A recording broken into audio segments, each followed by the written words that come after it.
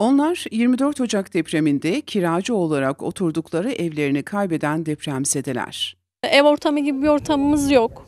Yani çok şükür, yine çok şükür e, ihtiyaçlarımız, e, devlet tarafından karşılanan ihtiyaçlarımız var. E, Onun dışında tabii ki kendi çalışmalarımızdan karşıladığımız ihtiyaçlarımız var. Sadece tek sorunumuz e, kiracı olarak ev sahiplerinin kiralarının çok yüksek olmasından dolayı bu ortamlarda kalmak zorunda kalıyoruz. Hani kötü bir ortam değil tabii ki şey bir ortam değil ama tabii ev özlemi daha farklı, ev ortamı daha farklı olduğu için ev istiyoruz. Yani bizden e, bize yardımcı olmaları için kiraların en azından düşürülmesi konusunda ya da TOKİ'lerden bize de bir fırsat verilmesi konusunda bir ihtiyaç istiyoruz yani. TOKİ'de ya da, da bir para verme durumumuz olacak. En azından bir ev sahibi olma durumumuz daha fazla olacak. Ama kiracılar bildiğiniz gibi depremden sonra bayağı bir yüksek kiralar vererek bizi mağdur duruma düşürüyorlar. Ben bir çalışanım ama burada oturmak zorunda kalıyorum kiracılar şey ev sahipleri yüzünden. Bir buçuk yıldır konteyner kentte kalan kiracı depremzedelerin iki talebi var yetkililerden. Kiracılar TOKİ'den kendilerine de ev hakkı tanınmasını ya da yüksek kira fiyatlarının düşürülmesini istedi. Geçen yıl Mart ayında buraya girdik. Mart ayı- ayından bu yana işte şu an Mayıs ayındayız. Ee, biz kiracıyız. Ee, kiracılara da inşallah tabii ki bir şey sağlarlarsa Sayın Valimiz, Belediye Başkanımız, ee, Sayın Şerafettin Yıldırım bunun için çalışma yaptıklarını, ee, dosya sunduklarını söylüyorlar Ankara'ya. İnşallah sonuca ulaştırırlar.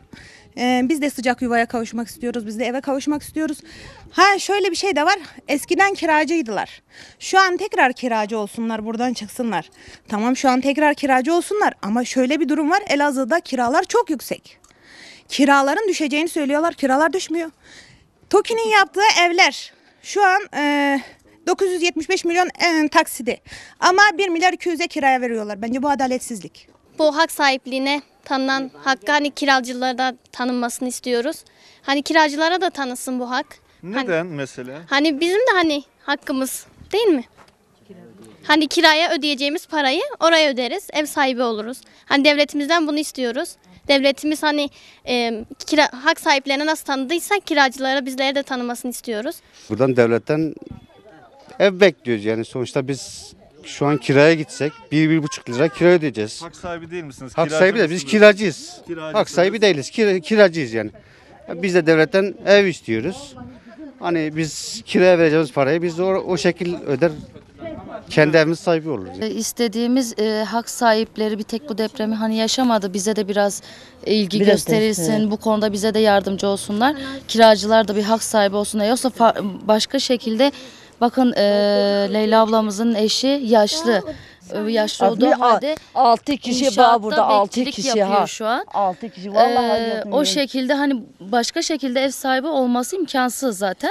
Hani bize de hak sahipleri gibi bir imkan tanınsa en azından biz de hak sahibi olmak istiyoruz.